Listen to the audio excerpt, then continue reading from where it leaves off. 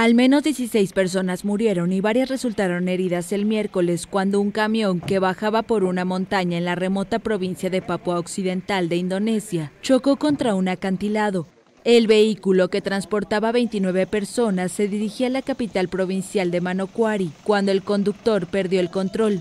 La policía sospecha que los frenos del camión pudieron haber fallado. Entre los muertos había un niño y tres heridos fueron trasladados a un hospital de la zona.